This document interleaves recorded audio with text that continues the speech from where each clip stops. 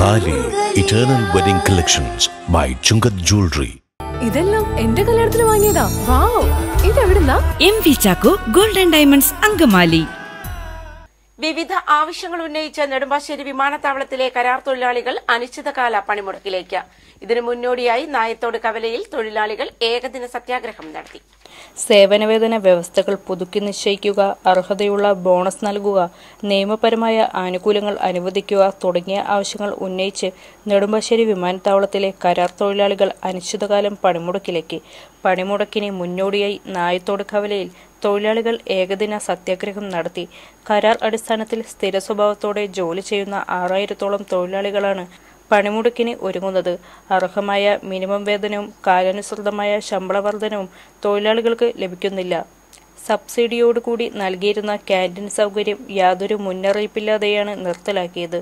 Bonus നൽകുവാൻ തയ്യാറാകുന്ന കരാർ കമ്പനികളെ സിയാൽ തടസ്സപ്പെടുത്തുന്നതായും യൂണിയൻ ആരോപിക്കുന്നു. ഈ സാഹചര്യത്തിലാണ് പണിമുടക്കുമായി മുന്നോട്ടു പോകാൻ യൂണിയൻ തീരുമാനിച്ചിരിക്കുന്നത്. ആദ്യഘട്ടം എന്ന നിലയിൽ നായത്തോട് കവലയിൽ ഏകദിന സത്യാഗ്രഹം നടത്തി M P Benny Behanan M P സമരം ഉദ്ഘാടനം ചെയ്തു.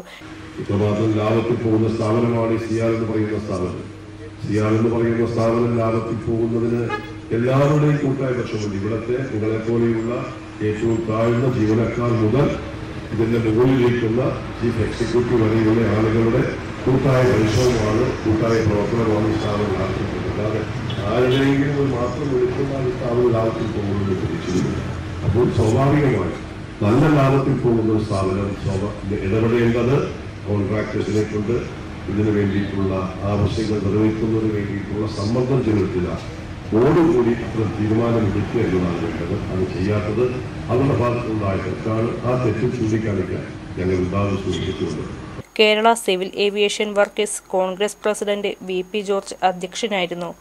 D C C president Muhammad Shiyas M L A റോജിയം John ജില്ലാ I N T U C president K K Ibrahimkutty union നേതാക്കളായ ജീമോൻ കയ്യാല ഷിജോ തച്ചപ്പള്ളി തുടങ്ങിയവർ സംസാരിച്ചു.